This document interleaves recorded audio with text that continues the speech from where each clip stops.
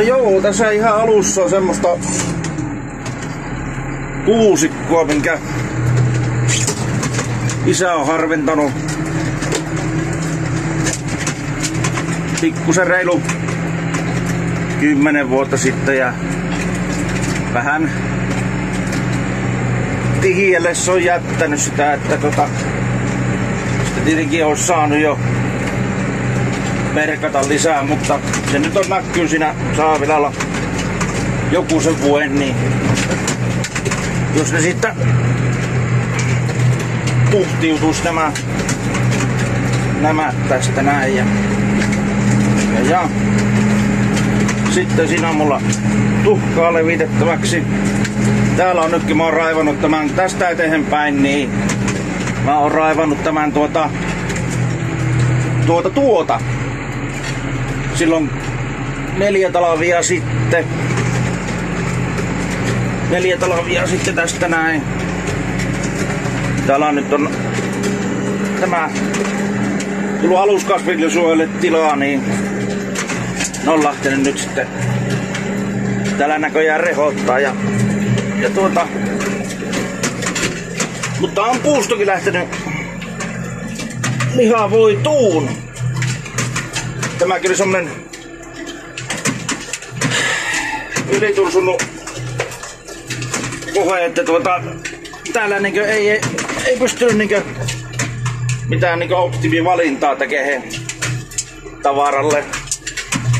Että siihen nyt pyrkii jättämään tavaraa, missä oli sulle sopivalle etäisyydelle mitä on. Ja, ja tuota, siellä on välillä on vähän riukuakin jäänyt, mutta oli tarkoitus, että ei nyt kuitenkaan liian harvaksi sitä tämmöistä nevaa, nevaa paikkaa, että antaa niiden kokeilla kasvaa siinä. Mutta tosiaan tässä näkyy tämä, tämä, tämä.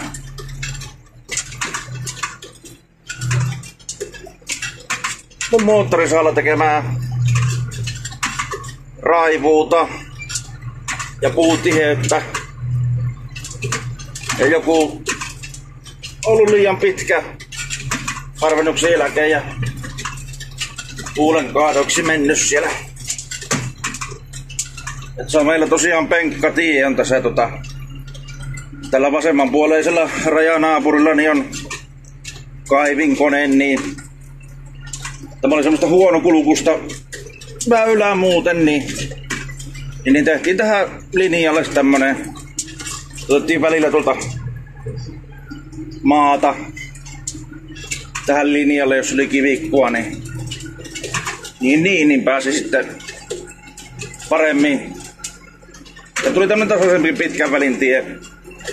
Ja sitten tässä on tota, toki pitää aina kesäsi ajaa murskaimella, kun tämä tie, penkkatiekin on semmonen, että se ottaa tota,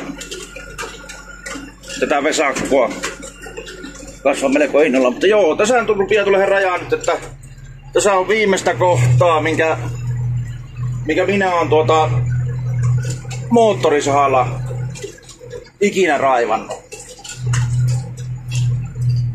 Tästä mä tulin tala... Joo, tai siis tuolla, tuolla näkyy tuota... No 50 metrin päässä näkyy sitten tuota naapurin nevaa. Mä olin sinne hakkaamassa ojalinjat viime vuonna motolla. Ja tästä mä tulin mun edellistä talven tätä ajolinjaa Vex. Ja joo, tämä on motolla ajettuna tosiaan niin tota hieman harvempi. Ja aina tietenkin sitä ajolinjan vierestä joutuu ottaa vähän vähän enemmän pois, jos on puskaa, niin että pääsee ulottuu sinne, pystyy operoimaan sinne tota kauemmaksi sitä puustua nosturi ulottuvan päähän ja niin pois. Nyt meillä on tämmönen kesä tuolla renkaita, en näe meillä kehkaippa. Vähän on kiviä tästä näin, mutta kai meillä vielä renkaat tästä tämän jälkeenkin traktorissa jäljellä. Vähän oli louhetta ja Jajamän.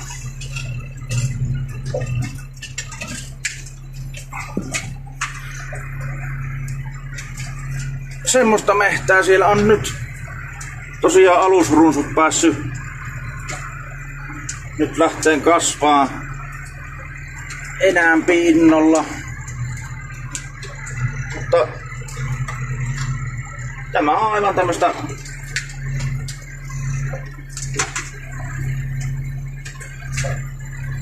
nevaa kasvumehtää nyt, että tämä tästä lähtee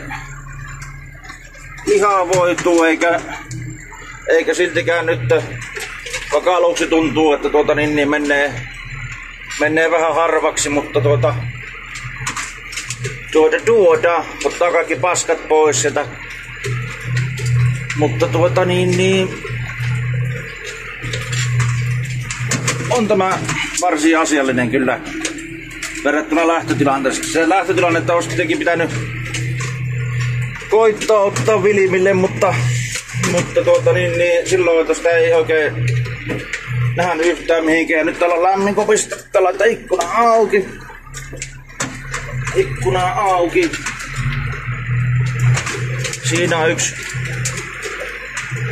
ajotien paikka. Ei tarvi aina välistä pääsee tänne linjalle aina, että ei tarvi ajoa rattarilla tuolla kynytä kaiken maailman kivikkoja sitten läpi. Ja vain. Mä käyn tuossa... Vielä mennään vähän matkaa eteenpäin, niin... Niin, niin, niin siellä tuota tulee sitten semmonen isompi oja vastaan, niin katsotaan miten siihen mennessä täriseekö tämä just sen verran, että tästä ei mitään selvää tietenkään saa tästä videosta, mutta ei erota metsää puilta. Silloinhan tämä homma oli hakkuun puolesta onnistunut. Siinä on edelleenkin metsä ja nyt se on tuota, paremmin lihoituskunnossa, että tuota, ei, ole, ei mene siihen ylimäärä tikun kasvuun se. Se on, se on semmonen turreikko, niin ei siellä oikein viihy mikään mehtäeläimetkään, mutta nyt kun tämä on tämmönen sopiva, sopiva harva, niin tuota, siellä on mukava mehtäasukkien tota, kuuppalla menee omia juttuja. Näkee, että lunta on ollut näin korkeita kantoja, että se Getoforstin satanen on niin leviä perseinen koura, että sitä ei tota, vihtisi oikein väkisin sopivassa hangissa lyöjä maahan, kun sitä ei tiedä, että täälläkin niitä kivejä, että justi, taisin mä silloin justi joskus lyöjä sitä syvemmälle hankkeen nosturilla, mutta sitten totesin, että ei perkele, että, että tuota, niin, niin siellä oli sitten kiviä vastassa ja, ja, ja terää meni heti paskaksi. Niin, niin, niin, niin se ei ollut sitten niin hyvä homma. Se pitää kyllä sanoa vielä, että tuota, suosittelen tekemään noita penkkateitä, jos on tuota niin, niin vähän tämmöistä mukulaisempaa maastua, että tuota niin, niin ei se vaikka aina rajanaapurin kanssa kun tekee, niin linjaa auki sopivasti. Ja tuota, sitten tuota niin, vähän kynäsee siihen maata.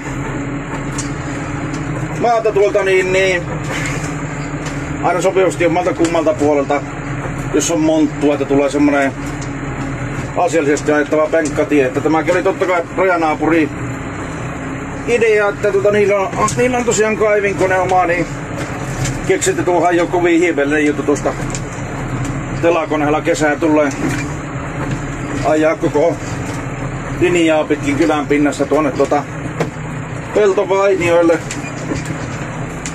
Niin tuota, on mukavaa ajella tuota tulee se, se mitä se penkkatie maksaa, niin tulee lopussa tuota, niin, niin tienattua nopeasti takaisin sillä, että tota, puutavaraa ajo on sitten aina.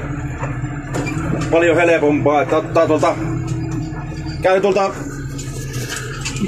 ottamassa aina tuota, niin, niin, sivusta mehtäsarralta tuota, niin, niin, kuorma ja ei tarvi koko matkaa siellä sitten könytä, vaan tuota, tulee aina tähän tota penkkatille, kun kuorma on täys ja siellä on semmosia sivupistoja, ei ne haittaa mitään, ne ei näy tuolla, mistä on tänne tultu tänne tuonne penkkatielle ja sitten tuota niin, niin tästä on talvella pysyy väylä hyvänä tamppaantuu, niin, niin, niin mukava talvella lumella ja tämmöistä väylää pitkin puutavaraa aina pois.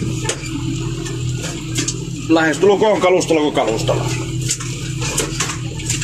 Että näin kesällähän tämä nyt keikuttaa, kun ei tämä mitään lentokenttää tietenkään ole, mutta, mutta tota, on, on kyllä talvella varsin tasaisen oloinen aijas.